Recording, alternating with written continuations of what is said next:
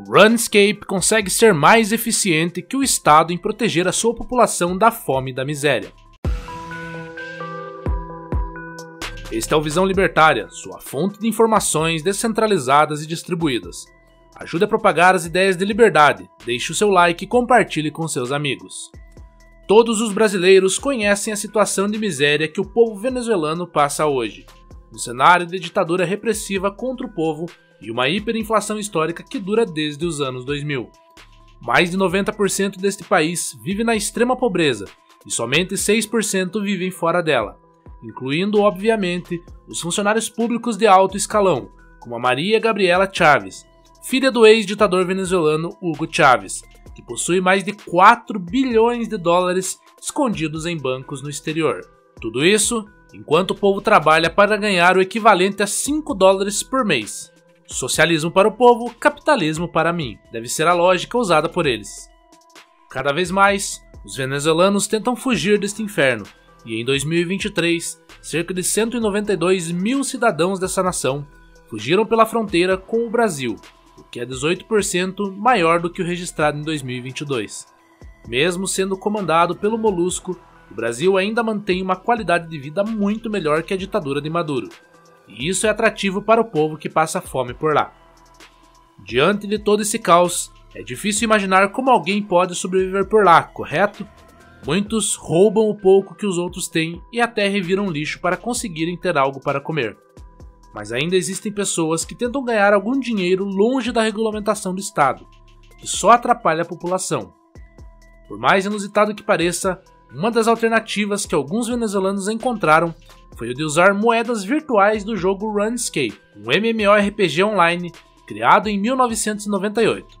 Eu sei, pode parecer estranho, e você com certeza está confuso pensando por que raios eles usam moedas de um jogo de computador para sobreviver, mas isso tem um motivo. Um ex-contador venezuelano, apelidado Martinez, contou em seu relato em uma matéria sobre o assunto. Ele largou o emprego após a inflação do Bolívar explodir e fazer com que o salário dele não valesse mais nada, mal sustentando sua família com aquele valor. Segundo suas palavras, aspas, com o tempo, meu salário passou a ser inferior a 4 dólares por mês, e eu simplesmente não conseguia fazer nada com ele. Então, decidi experimentar um jogo que meu vizinho estava me dizendo para jogar por dinheiro. Ele começou a jogar o Runescape e ganhou 450 dólares farmando ouro no jogo usando desse dinheiro para fugir da Venezuela e ir para o Peru, onde continuou usando do jogo para ganhar mais mil dólares, conseguindo tirar sua mãe e sua namorada do país de origem. Os venezuelanos que aderiram a esse esquema coletam itens e a moeda do jogo e vendem para outros jogadores por bens reais, trocando eles por dólares ou até mesmo por criptomoedas como o Bitcoin, facilitando as trocas e impedindo de serem rastreados, também sem sofrer a hiperinflação do país. Outros, como Christian Alejandro, um estudante universitário de engenharia geológica, dedicam cerca de 10 horas diárias do seu tempo livre a compromissos escolares e à evolução no Runescape, especialmente na Zona do Pesadelo, um mini-jogo de combate. Esse tempo investido permite que ele melhore rapidamente as habilidades de combate das contas, vendendo-as posteriormente por dólares americanos para outros jogadores. Alejandro ganha uma taxa por hora para realizar essa atividade, o que lhe rende entre 100 e 150 dólares mensalmente. Ele conseguiu essa ocupação ao postar um tópico no Reddit em busca de qualquer tipo de trabalho, dizendo que teve sorte de encontrar alguém que lhe desse esse emprego. Alejandro disse que aqueles que tentam viver com um salário mínimo passam por muitas dificuldades, e há famílias que só comem uma vez por dia. O Runscape, em poucas palavras, é seu trabalho. Ganha mais de 100 dólares por mês com ele. Ele salienta que é uma quantia considerável, mas não o suficiente. Entretanto, de ser possível sobreviver com isso. Sem o Runescape, ele não teria como ganhar essa quantia de dinheiro. O jogo é popular entre muitos venezuelanos ao oferecer um bom lucro mensal. Mas por que alguém gasta dinheiro com moedas de um joguinho? Bem, os jogadores americanos em média possuem uma melhor condição financeira do que a de países latino-americanos. Portanto, eles têm a capacidade de gastar alguns trocados com coisas não essenciais.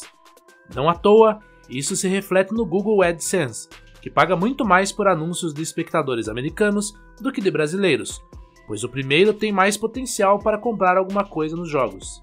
E é isso que acontece. Alguns gringos não gostam de fazer tarefas cansativas e maçantes dentro destes jogos e pagam para outros usuários fazerem essa parte por eles, recompensando com dinheiro real. Um esquerdista médio que ouvir isso estará entrando em desespero dizendo que isso é exploração. Mas vale lembrar o óbvio: as duas partes concordam que querem essa transação. Não à toa, isso acabou salvando a situação de Martinez e sua família, que sem isso continuaria vivendo na miséria em um país arruinado por uma ditadura, juntamente de outros venezuelanos que também passaram pela mesma situação e conseguiram arrumar algum dinheiro desta forma. E eu sei que você ainda pode achar isso um tanto idiota, pois essas moedas do Runescape não teriam valor algum. Então, como existe uma conversão para dólar? Simples, elas possuem o mesmo princípio de qualquer papelzinho estatal no mundo real, por mais básico que seja. Se as pessoas veem valor naquilo e usam como meio de troca entre as pessoas, já seria uma moeda utilizável. Em outro vídeo do canal denominado Como funciona a economia em um mundo pós-apocalipse nuclear, cujo link está na descrição, usamos o exemplo do universo da franquia Fallout para explicar como funciona o valor do dinheiro. Para quem não assistiu, daremos uma breve introdução. Após o apocalipse nuclear, os sobreviventes tentaram formar novas organizações e fazer comércio entre si. Contudo, todas as moedas do mundo e seus respectivos governos estavam agora extintos. Então eles decidiram usar tampinhas de garrafa de um equivalente à Coca-Cola como moedas entre as pessoas, com cada tampinha valendo 1,67 dólares.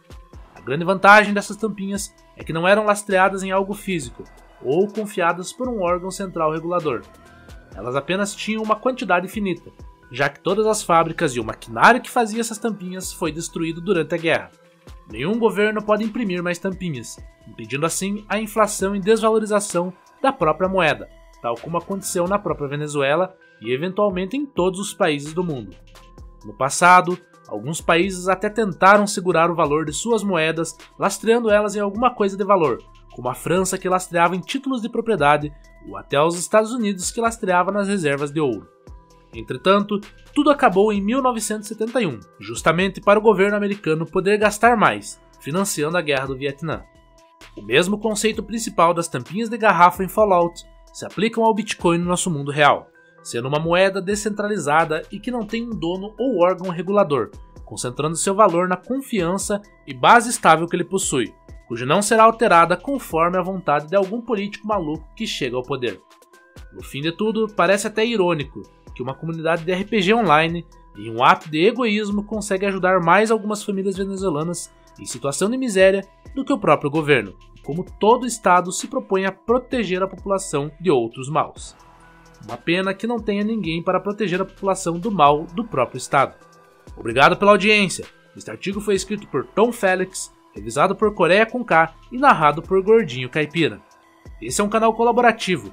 Um artigo seu pode virar vídeo aqui também, sabia? Basta se cadastrar no nosso site visãolibertaria.com e enviar seus artigos por lá. Não deixe de se inscrever no canal e clicar no botão da campainha para ser avisado de novos vídeos. Até a próxima!